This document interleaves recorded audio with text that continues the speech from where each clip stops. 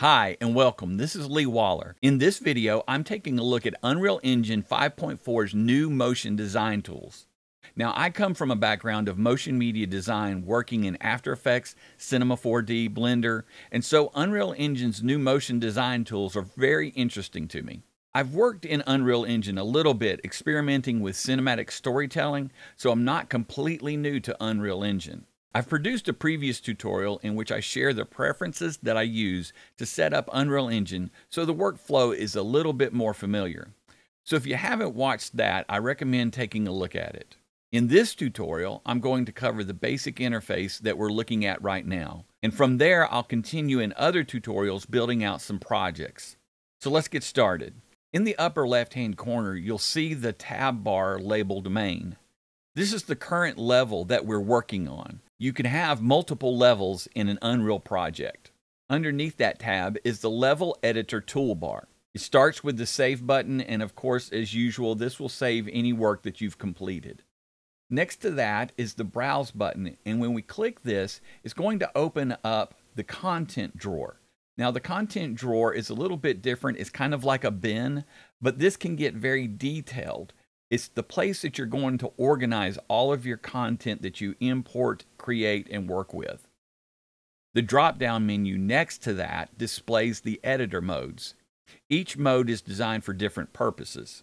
Sometimes I'll work in the selection mode or the modeling mode, and of course, the new motion design mode. Next to that is the Content Plus button. This button presents you with multiple options for importing and adding content to your project. Our first option is to import content that you might already have access to. Below that is Quixel Bridge. This is a virtual warehouse of assets that are free that you can download and import into your projects to use. The Unreal Marketplace is another online source where you can purchase assets. As I've already mentioned, you have the content browser. You can select that from here. There's also a button down here at the bottom for the content drawer. You can open that up and expand that. Below that are a number of other options to place all types of content or actors as Unreal Engine classifies them. Lights, virtual cameras and rigs, visual effects, shapes, media plates, and other content for your production. Blueprints in Unreal are used to add programming capabilities to your project and is mostly for games, but can be used for any type of production. The Cinematics button adds either a level sequence or master sequence to your project. It is in the sequence that you animate your actors. It is similar to the composition timeline in After Effects. The play-in controls allows you to test your game. It is also useful for testing your animation and a good way to check to make sure your motion design is going to render as expected. I'm going to move over to the far right and take a look at the motion design button. This opens and closes the motion design editor interface. I'm going to click that once and we jump out of the motion design mode and we're left in selection mode. I'm going to jump back into it and that will bring back all of our motion design tools. I have found that when I first come into the motion design editor, some options were missing. It would only bring up the 2D shapes, 3D shapes, and actors. So by clicking out of the motion design option, then clicking back into it, the meshes, cameras, and lights were added. The toolbar below that starts with the operator stack. Clicking on that will open up the operator stack over here in the panels to the far right. In the operator stack are modifiers and animators. These are tools that can be added to our actors to add animation and functionality. The Material Designer is one of the new motion design tools. It is a simpler way of adding materials and textures to your actors. You can see that our floor does not have a material on it.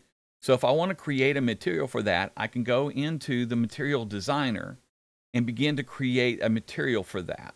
I'll switch it from texture to solid color and we'll choose a color and hit OK on that.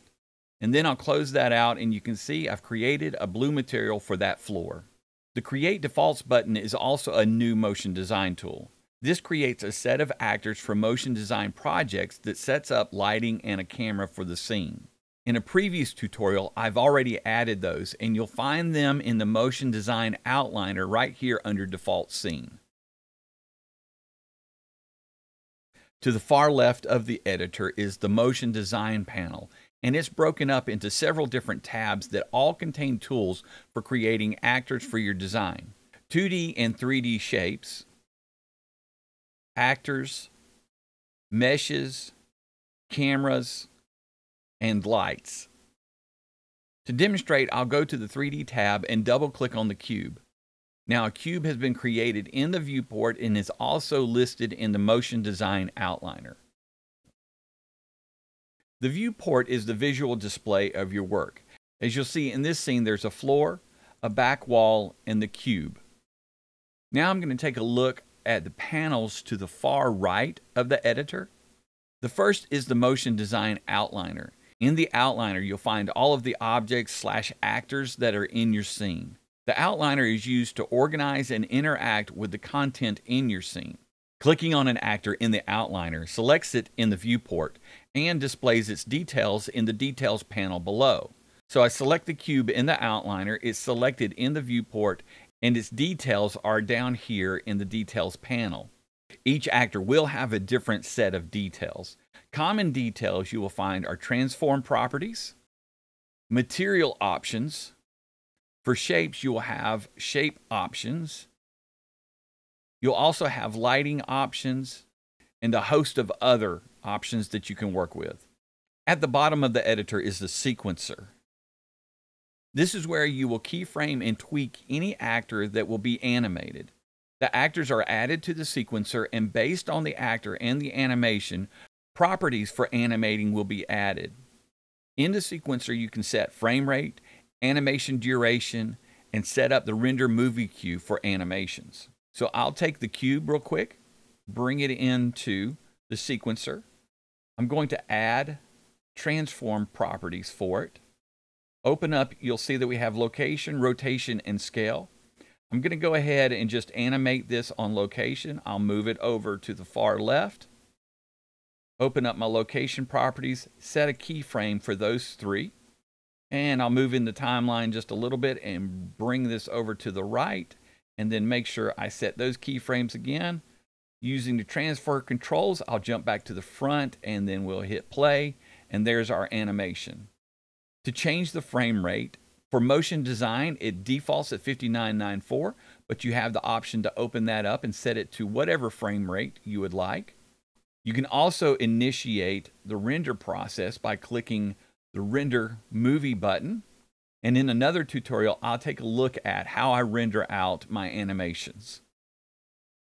Of course, there's a lot more to Unreal Engine, and this is just a simple rundown of the basic user interface. In upcoming tutorials, I will dig deeper into Unreal Engine's motion design tools, so I hope you will hit the like and subscribe buttons, and see you soon.